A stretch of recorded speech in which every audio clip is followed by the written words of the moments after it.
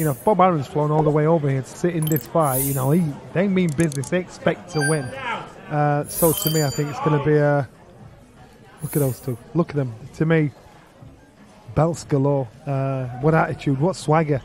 Uh, what a fight! An ultimate self confidence and self belief, Matt. Oh, absolutely, as you'd expect. Um, you know, Mikaela undefeated.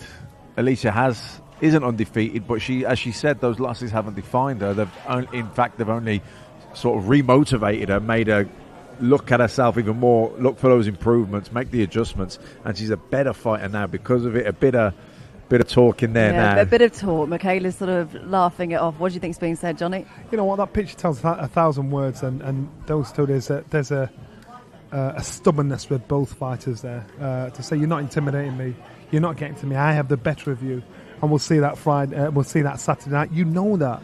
Uh, because if they want to get in each other's face, they know they just need that little mental edge to the point where they'll be on and on and on. Neither of them want to back down, Matt.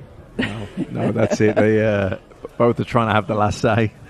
Uh, Still look, going I, on. It, it uh, you know, and even tomorrow the weigh-in, you know, there'll probably be a bit more. Okay, but it's just having a slight, slight little word there to uh, to Alycia. Oh, and it's still going.